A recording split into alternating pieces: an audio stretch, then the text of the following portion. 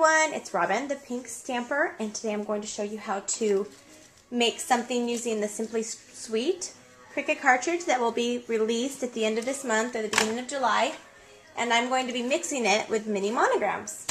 So what I'm doing here is I'm going to use the stitched feature on the butterfly, and I know I've already made uh, one video using the butterfly, but I'm going to do something a little bit different. I am going to hit my shift, and then hit the butterfly. Make sure that it shows up in the window. Let's see here. Okay, and I'm going to make it about, I think two and three quarters should be a good size, so let's see here. Alright, and then I'm going to, I want to make the center black, but I'm going to go ahead and keep the wings clear for now. And so I'm just going to use the regular butterfly use my button to go over here. Now I hit, I want to take the stitched button off, and then I can just hit repeat last because it, it was shifted. So it's just going to make a big, and I'm wondering if that's too big, so let me, looks like it might be not the right size, so let's see here. Ah! Yeah, I'm going to have to figure out what size I want, so let me make this a little bit smaller. I'm thinking about two inches. So to hit repeat last. Okay, let's see if this is around the size.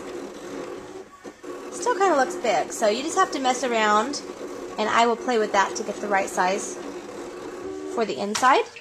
And now we're going to switch out cartridges. I do have the jukebox, but I just want to show you just switching without the jukebox. Make sure you turn your machine off, no matter what anyone tells you unless you have the jukebox, you're supposed, or you're using your Cricut Design Studio software, you're really supposed to turn off your Cricut machine. And I do know friends that have had problems because they have not done that. It's called, I think it's called hot switching or something like that.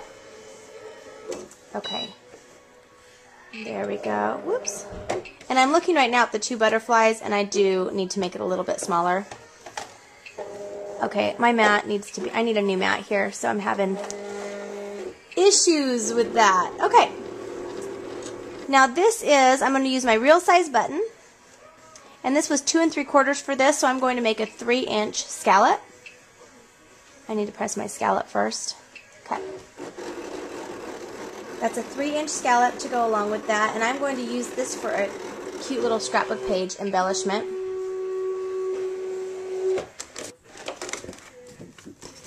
Alright, just peel off your scallop. And then I'm going to take off my stitched circle. Oh, caught a little bit there. Okay. I want to take my scissors and clean that up in a minute. Okay, when these pop out, you will see what it's going to look like. Let's see here. And I'm going to, like I said, just use the black for the center part here. I'm having problems with my thing. Okay you kind of get it. So I hope everyone is having a terrific summer. I haven't been making a lot of videos because we have been just outside swimming almost every single day. Okay, so here is with my scallop edge, and it still has the stitched on it, and I'm going to add the black and use this for an embellishment on a scrapbook page, so let's do that. All right, for the title on the scrapbook page, I want it to say Butterfly Kisses.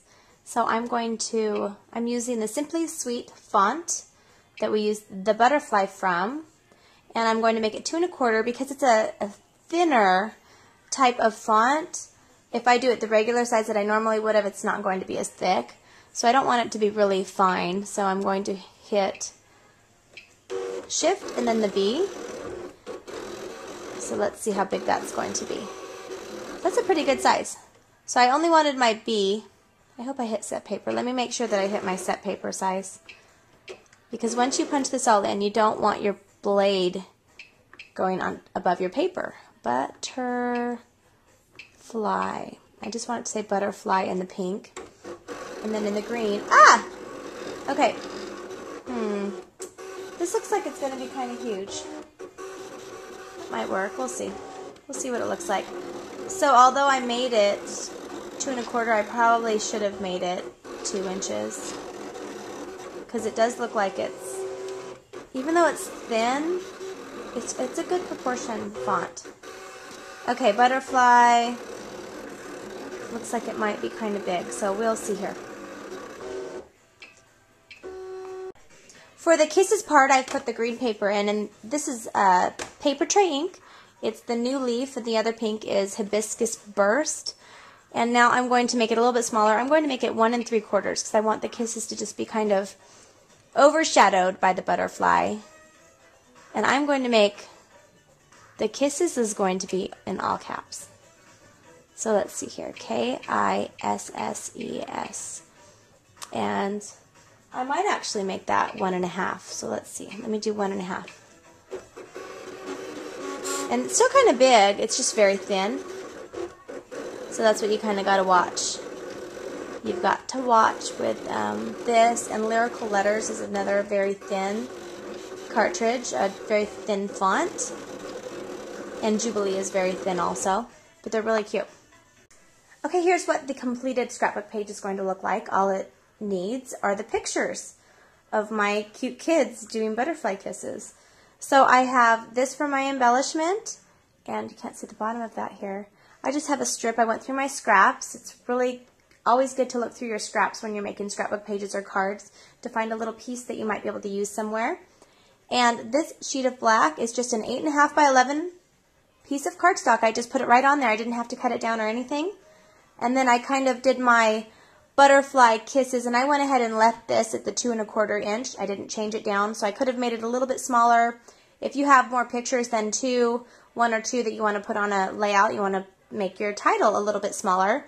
So just butterfly kisses and there's just a quick and simple idea for a scrapbook page. So I hope you enjoyed it. Have a wonderful day.